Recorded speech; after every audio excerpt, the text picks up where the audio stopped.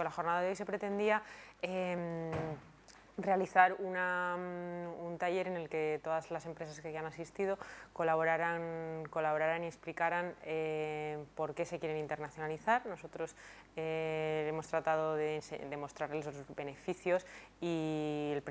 principales alicientes que tiene eh, comenzar un plan de expansión internacional en sus empresas. La, mayoría de asistentes eran, empresas que ya estaban inscritas en el, en el programa, había, había, otras empresas que han venido simplemente por el hecho de que les interesaba la temática, eh, estaban interesados en saber por qué y cómo se, se podían internacionalizar. Y, bueno, les hemos tratado de explicar eh,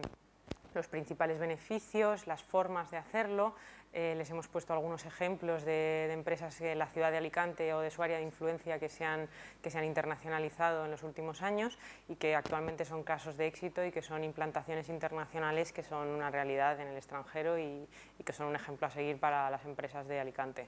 También les hemos, les hemos presentado el resto de talleres, eh, talleres que se van a realizar de aquí al mes de abril. Eh, se van a realizar cada 15 días, empezando hoy, día 30 de, septiembre, eh, todos los martes tendrá lugar un taller en el que el centro del taller va a ser una temática muy concreta, se va a intentar atacar posibles debilidades que tengan las empresas de Alicante a la hora de salir al exterior y se va a intentar trabajar con ellos en mejorar y en establecer unas líneas de acción y un plan para, para, bueno, pues para solucionar esos problemas que se pueden encontrar.